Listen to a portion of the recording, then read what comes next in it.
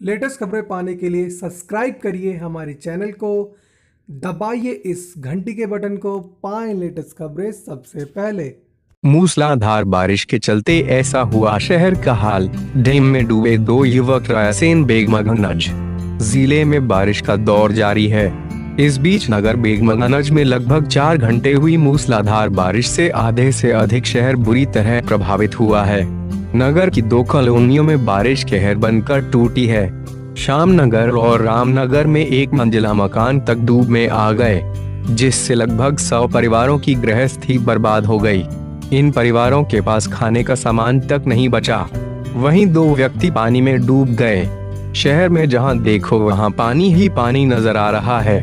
मूसलाधार का कहर रात दो बजे से शुरू हुआ, जो सुबह छह बजे तक लगातार जारी रहा। फ़िलहाल बारिश रुकी हुई है, लेकिन पानी का भराव होने से आम जनवरी जीवन बुरी तरह प्रभावित हुआ है। सैकड़ों घरों को नुकसान होना बताया जा रहा है। निचले हिस्सों में घरों में बंधे कई पशुओं की डूबकर मौत हो गई। कुछ पशुओं को सुरक्षित बचा लिया गया। लोगों ने बमुश्किल सुरक्षित स्थानों पर पहुंचकर अपनी जान बचाई।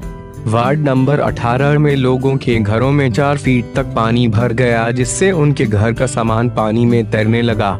बताया जा रहा है कि बेगमगंज के वार्ड नंबर 18 में निर्माणाधीन पुलिया बनने के कारण पानी की निकासी नहीं होने से ऐसे हालात बने।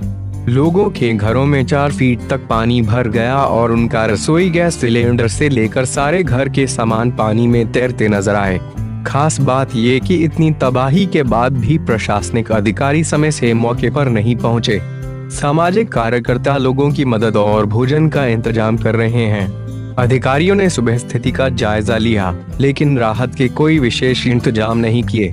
फ़िलहाल लोग अपने आपसी सहयोग से ही इस परेशानी से निपटने का प्रयास कर रहे हैं। अपने स्तर पर पानी से बचने और खाने की व्यवस्था में लगे हुए हैं। पानी में डूबे दो युवक ज्ञात जानकारी के अनुसार रायसेन ज़िले के भोजपुर क्षेत्र में कलिया स्टाफ डैम में दो युवक डूबे। एक को सुरक्षित बाहर निकाला गया। पर दूसरे व्यक्ति की तलाश जारी है जिसके लिए रेस्क्यू ऑपरेशन जारी है।